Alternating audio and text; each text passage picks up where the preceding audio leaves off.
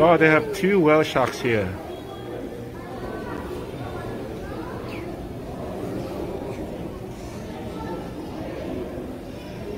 Great.